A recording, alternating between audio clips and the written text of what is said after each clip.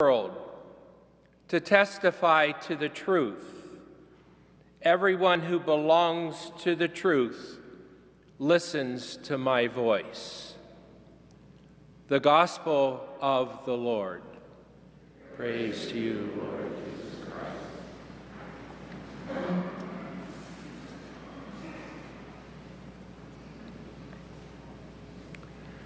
Way back when I was in formation for the diaconate, the Old Testament instructor had very creative ways to make sure that we did our reading assignments. From outlining entire books of the Old Testament, uh, and that was before I had a computer and a sophisticated Bible program that could do it for me.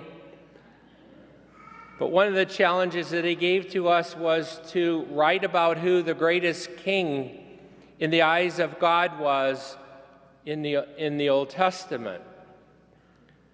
And of course, we immediately thought David. And I took a poll around the office and other places I was this past week and asked people who they thought the Bible said was the greatest king in the history of Israel and Judah. And most people said David, some said Solomon, uh, and actually two people got it right. And if you're interested, you can read 2 Kings 23 25 to give you the answer to that. Um, you might want to re- read about King Josiah beginning uh, in 2 Kings chapter 22 to get the whole picture. But he was, is stated as being the greatest king in the eyes of God because of the religious reforms that he did and bringing the people back to the law of Moses. You know, the chosen people pleaded for a king. Some of the kings that came into Israel's history were great, but most of them, of course, were sinful human beings, broken individuals. And Israel continually prayed for and longed for the ideal king, the king that would lead by example, the king that would serve the people. And their prayer was answered, but not in the time or in the way that they expected. As we celebrate this solemnity, solemnity today, Jesus Christ, our Lord, King of the universe, we recognize that we have an ideal king and we have an ideal king and much more. And there's no comparison to any earthly king. We can't get a sense of what Jesus' kingship means by any past or present earthly king.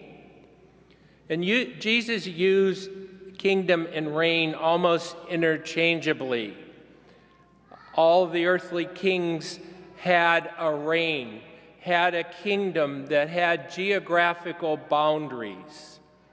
And Jesus, as we celebrate today his reign, is over the entire universe.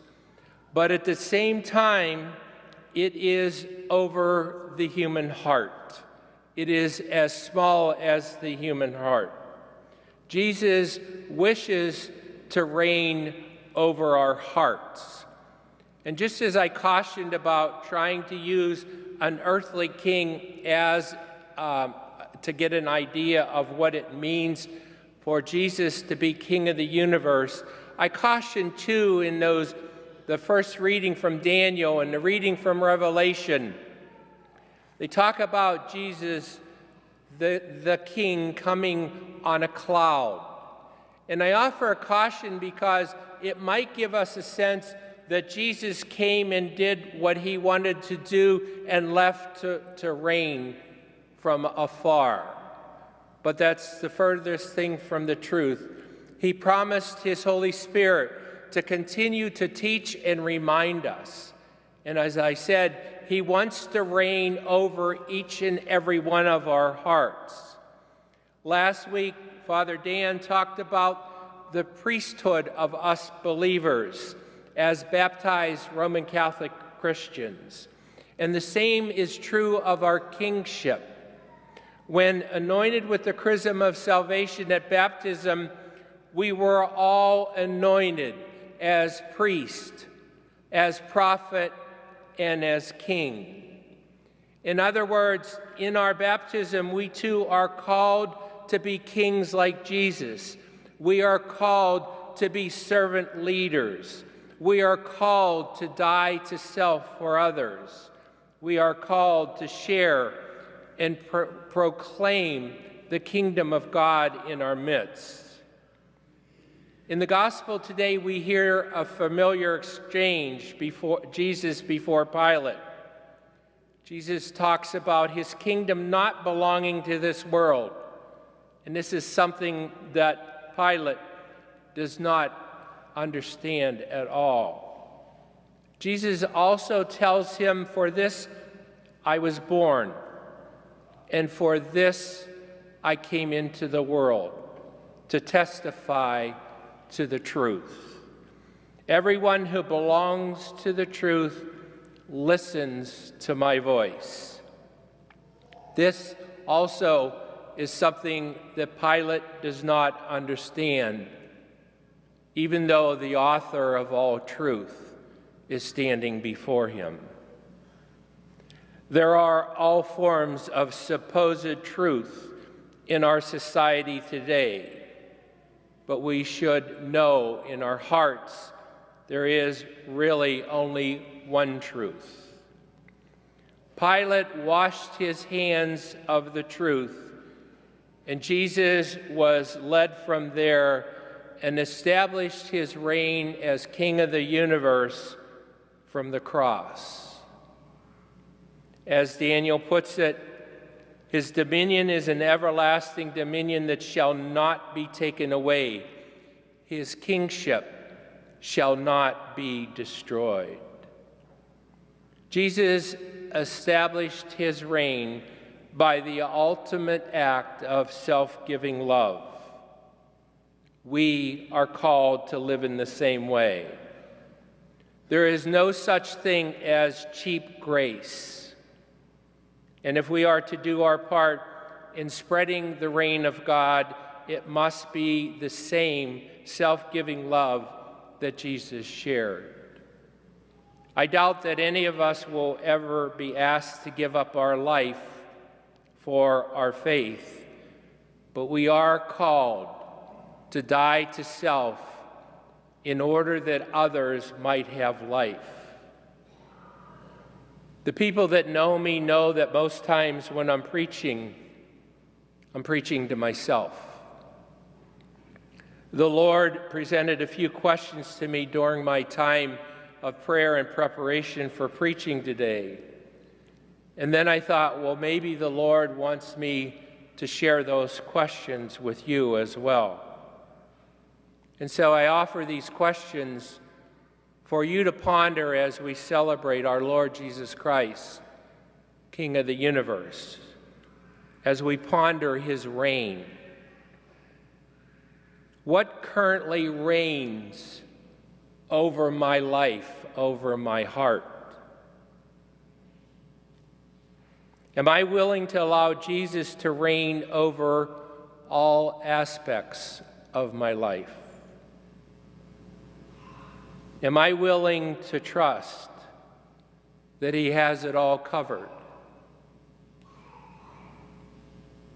Am I willing to trust that no matter what I'm dealing with, no matter what happens in my life, in the end, Jesus has it within his power, within his reign.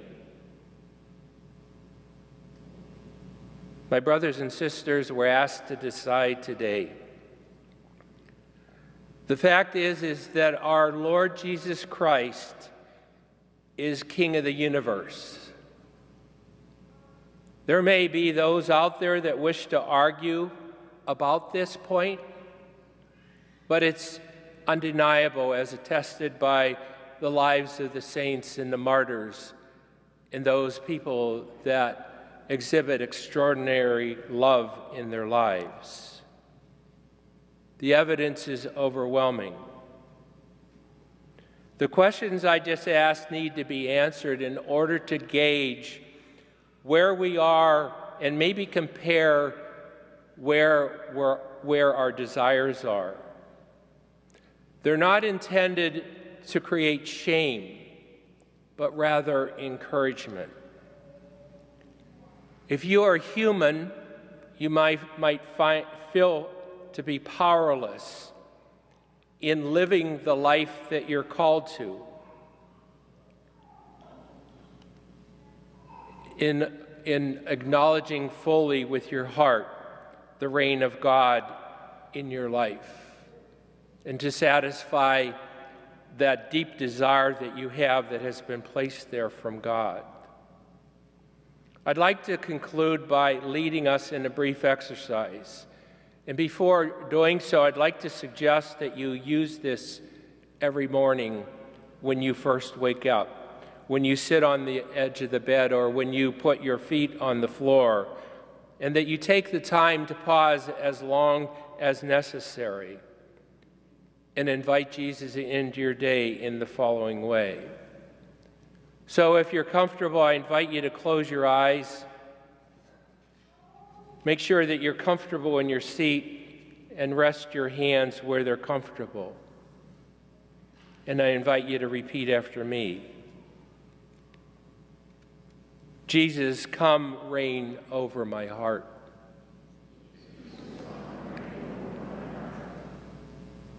Jesus, come reign over my heart. Jesus, come reign over my heart.